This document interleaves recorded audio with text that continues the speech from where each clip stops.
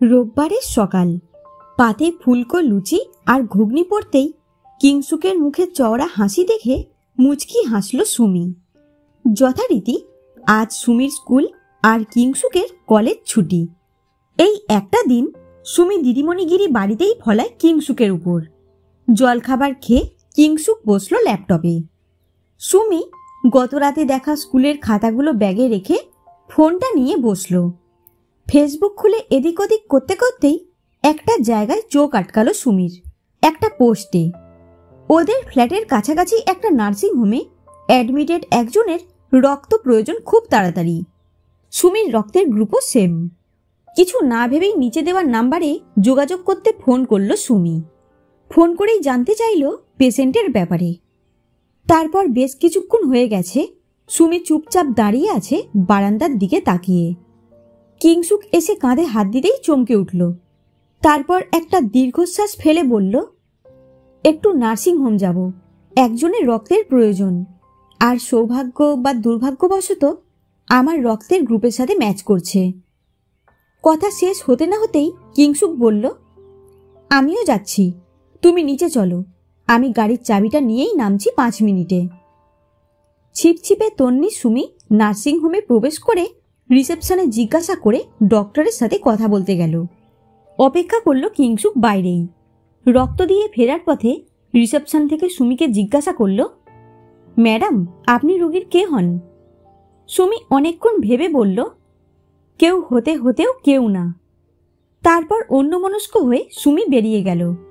যাবার পথে নিজের হাত থেকে খোলা গত জন্মদিনে কিংসুকের দেওয়া পছন্দের ঘড়িটা রিসেপশনের টেবিলেই ফেলে গেল। বাড়ি ফিরে হঠাৎ মনে পড়ল, হাতে ঘড়িটা তো নেই। কিংসুক বলল, চিন্তা করো না, কাল তুমি স্কুল বেরোনোর আগে একবার গিয়ে নিয়ে নিও। সুমি শুধু বলল, হুম।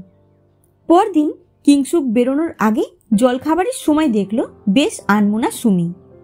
রোজকার মতো বেরোনোর আগে কপালে চুমুখে কলেজের পথে বেরিয়ে গেল কিংসুক। যাবার আগে আবার মনে করিয়ে দিল, নার্সিংহোমে গিয়ে আগে ঘড়িটা নিয়ে তারপর স্কুলে যেও। কিংসুক বেরোনোর কিছুক্ষণ পরেই সুমি বেরোলো। রিসেপশনে গিয়ে কথা বলছে, এমন সময় আগের দিনের পরিচিত নার্স এসে বললেন, ম্যাডাম, আপনি এসেছেন?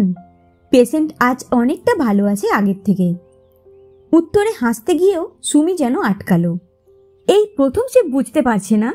হাসি আদৌ এখন মুখে সাজে কি নার্স বললেন, ম্যাডাম পেশেন্ট জ্ঞান ফেরার পর বারবার জিজ্ঞাসা করেছেন আমাদের। ওনার রক্তদাতা কে? আমি আপনার বর্ণনা দিলেও উনি বুঝতে পারেননি।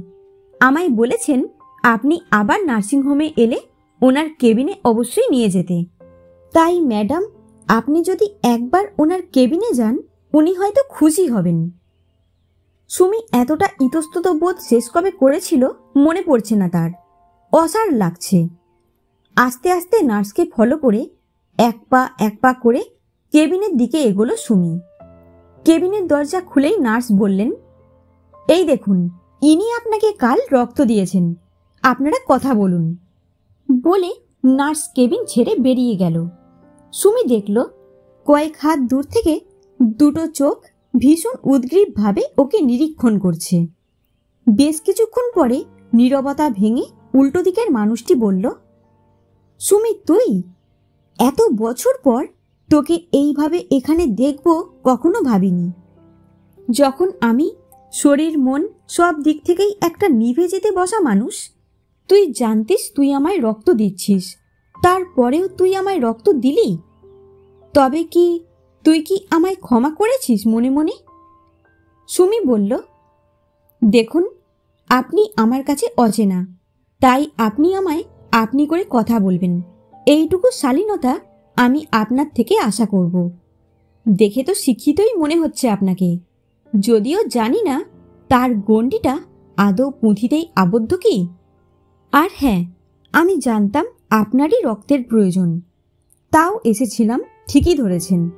কারণ শুধু এটুকুই যে, এটাই আমি একজন মানুষের কর্তব্য বলে মনে করি, একজন মানুষের প্রতি। আপনাকে রক্ত দিতে যে মেয়েটা এসেছে, তার সাথে আপনার অতীতে ছেড়ে যাওয়া মানুষ দুটো এক না। সুমির কথা শেষ হবার আগেই পিনাক বলল, হয়তো শুনেছিস, আমার বিয়েটা টিকলো না। অফিস থেকে ফেরার পথে রাস্তা পেরোতে গিয়ে অ্যাক্সিডেন্টে একটা পা হারালাম। বিদিশা খবর পেয়ে একবারও আসেনি। শুনেছি, আবার বিয়ে করেছে অফিস কলিগকে। মা দু বছর হলো মারা গেছে। জীবনটা শূন্য আজ। শুনেছি তুই আজ স্কুল টিচার। পিএইচডিও কমপ্লিট করেছিস। তোর বিয়ের ছবি দেখেছিলাম। বড্ড মিষ্টি লাগছিল। আর একটা কথা, শাড়িতে একদম দিদিমণি লাগছিস। আমি তোকে ওইভাবে ছেড়ে যাওয়ার পরও যে তোকে এইভাবে আমার রক্তদাতা হিসাবে এখানে দেখব ভাবিনি। আমি ছেড়ে যাওয়ার পর তোর নির্ঘুম রাত আর চোখের জল হয়তো আমার জীবনে ঝড় হয়ে নামলো এইভাবে। সব তছনছ করে দিল। সেদিন যা বলতে পারিনি, আজ বলছি। তুই ভালো থাক। তোর সাথে ভালো থাকা থেকে তো আমি নিজেই নিজেকে বঞ্চিত করেছিলাম। পিনাকের কথা শেষ হবার আগেই হঠাৎ কেবিনে ঢুকলো কিংসুক। ঢুকেই এক মুখ হেসে বলল, এই যে মশাই, আপনি আজ কেমন আছেন? নমস্কার, আমি এই ম্যাডামের হাজবেন্ড। তারপর আবার হাসতে হাসতে বলল, আসলে উনি স্কুলের সাথে সাথে দিদিমণিগিরিটা আমার উপরেও করেন তো অল্প বিস্তর, তাই ওনাকে আমিও ম্যাডাম ডাকি। অবশ্য ওনার এইগুলো আমি ভীষণ এনজয় করি বলতে পারেন। এত কেয়ারিং বউ, এই বাজারে কজনের মেলে, বলুন মশাই? যাই হোক, আসি তবে আমরা। আসলে ম্যাডাম ওনার টিফিনটা বাড়িতেই ফেলে এসেছিলেন, তাই এই অধমকেই আসতে হলো। তারপর সুমি হেঁটে গিয়ে দরজার পাশে দাঁড়াল। কিংসুক বেরোনোর আগে হাত বাড়িয়ে দিল পিনাকের দিকে হ্যান্ডশেক করার জন্য। পিনাক হাত বাড়ালে কিংসুক বলল, ধন্যবাদ মশাই, আমি আপনার প্রতি কৃতজ্ঞ ভীষণ। আপনার জন্য আমরা আজ এত সুখী। আপনার জন্যই আমি বুঝেছি একটা মেয়ে আমাকে কীভাবে মায়ের মতো আগলে রাখতে জানে। আমার মতো যান্ত্রিক মানুষটাকেও সুমি মন খুলে হাসতে শিখিয়েছে, চুটিয়ে বাঁচতে শিখিয়েছে। আর আপনার অযত্নে অপমানে পায়ে ফেলে যাওয়া কুঁড়িকে আমিও সসম্মানে ভালোবাসায় যত্নে ফুল হিসাবে প্রস্ফুটিত করার সুযোগ পেয়েছি। যার সুরভিতে আমার পরিবার, আমি, আমরা আজ সুবাসিত। কথাগুলো শেষ করে কিংসুক পিছন ফিরে হেঁটে সুমির পাশে দাঁড়াল। বলল, চলুন আমার ম্যাডাম, মনে আছে তো? আজ আমাদের প্রথম দেখা হবার দিন। বিকালে কিন্তু অনেক প্ল্যান আছে। যাবার সময় সুমির কপালের অবাধ্য টিপটা কিংসুক ঠিক করে দিল। সুমি কিংসুকের হাতটা শক্ত করে ধরে কেবিন ছেড়ে বেরিয়ে গেল। ওরা পিছনে ফেলে এলো একটা ফুরিয়ে যাওয়া মানুষকে। সে পাশ ফিরে বালিশ ভেজালো অসার হয়ে কতক্ষণ তার খবর রাখার কেউ ছিল না আর।